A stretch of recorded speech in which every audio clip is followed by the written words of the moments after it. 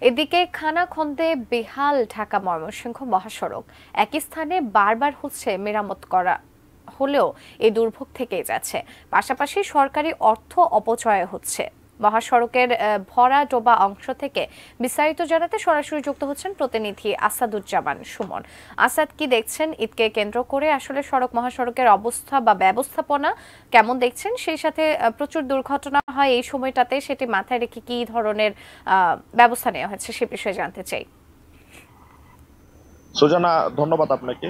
আমি এই মুহূর্তে রয়েছি ঢাকা ময়মনসিংহ মহাসড়কের ভরাডোবা অংশে। আপনি আমার পেছনে দেখতে পাচ্ছেন যে যে ভরাডোবা অংশে যে সংস্কার কাজ চলছে, সেটি কিন্তু খুব ধীর গতিতে চলছে।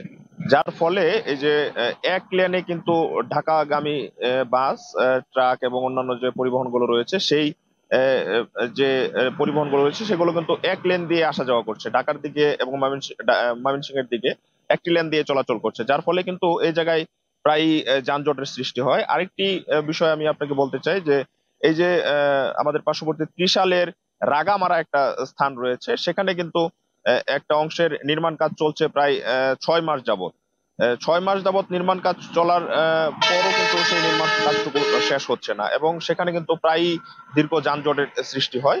এই এই যে খানাখন্দর সেটি কিন্তু সবচেয়ে বেশি ঢাকাগামী যে লেনটা রয়েছে সেই লেনে। যার ফলে কিন্তু এই যে ঈদ যাত্রা যে রয়েছে ঈদ যাত্রায় কিন্তু মানুষ ঢাকায় ফেরার পথে বেশ কয়েকটি স্থানে কিন্তু দুর্ভোগ পোহাতে হবে। আমরা দেখেছি যে, ঢাকা ময়মনসিংহ মহাসড়কের যে স্থানটিতে খানাখন্দর হয়, সেখানে কিন্তু শুরু থেকেই খানাখন্দর রয়েছে এবং তার কিন্তু নামমাত্র যে সংস্কার কাজ সেটি হয়েছে।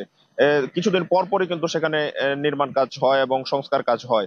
যার ফলে কিন্তু একদিকে যেমন সরকারের অর্থ অপচয় হচ্ছে, আরেকদিকে কিন্তু মানুষের দুর্ভোগ পোহাতে হচ্ছে।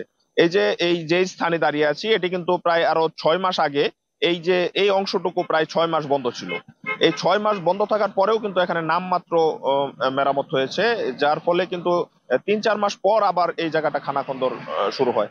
যার ফলে এখন কিন্তু স্থায়ীভাবে যে কংক্রিটের ঢালাই শুরু করছে।